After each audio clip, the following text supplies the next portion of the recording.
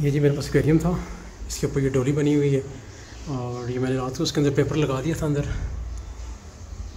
खूबसूरती के लिए। और ये इसके अंदर लाइट भी है और ये इसके ऊपर ओपन करके अंदर दाना वगैरह डालने के लिए। और ये फटे मेरे पास कुछ पड़े हुए थे, मैंने फटों को जोड़ा है। जोड़ने के बाद कुछ इस तरीके से बना के थर्मोपोल ले आए। थर्मोपोल मुझे बाज़ार से मिली है तकरीबन डेढ़ सौ का पीस मिला है। और इसको मैंने काट के इसके ऊपर रख दिया, ताकि वज़न जो है इक्वल रहे। और कुछ चीज़ें मेरे पास यहाँ पड़ी हैं। उसमें कुछ चीज़ें पड़ी थी, मेरे पास एक ये ट्री बना हुआ है, और ये इसके प्रेशर कंट्रोल करने के लिए एक ये छोटा सा हाउस बना हुआ है। और फ़िल्टर है, जिसमें से बबल्स निकलेंगे। और एक हमारे पास यहाँ पे जेली फ़िश है। तो चलें, इसको इंस्टॉल करते हैं उसके अंदर। फिर आपको दिखाता हूँ तैयार करने के बाद।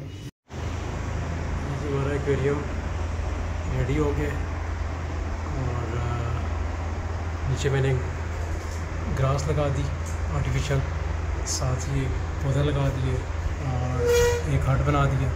और एक ही पीछे लगा हुआ ऑक्सीजन के लिए। तो कुछ इस तरीके से ये रेडी हो गया तो बस इंशाल्लाह शाम को फिशेस लेके आते हैं, इसमें डालते हैं, उसको फिर एक्टिव करते हैं।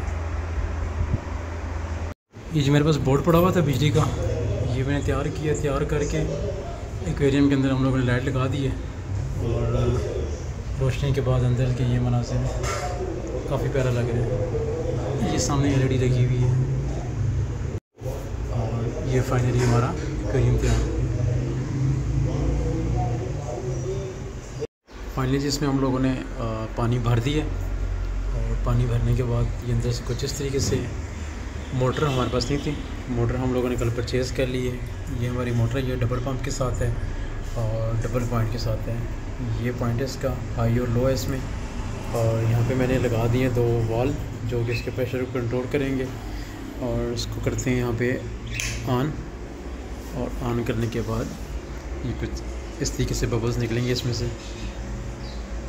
ये। माशाल्लाह, बहुत प्यारा लग रहा है, ज़बरदस्त लग रहा है। और आज फ़िशेस लेके आते हैं, इसमें फ़िशेस वगैरह डालते हैं। और फिर इसको सही इंजॉय करते हैं और आपको दिखाते हैं। फाइनली हमारी फ़िशेस आ गई हैं जिसमें हमारे पास ये वाइट कोई है और ऑरेंज कोई है और सिंगल टेबल है। जी तो उम्मीद करते हैं आप लोगों को हमारी आज वाली वीडियो बहुत पसंद आई होगी। ये हैं हमारी खूबसूरत सी फ़िशेस और अगर मेरी वीडियो आप लोगों को अच्छी लगी है तो मेरी वीडियो को ज़्यादा से ज़्यादा लाइक कीजिएगा, दोस्तों यारों से शेयर कीजिएगा।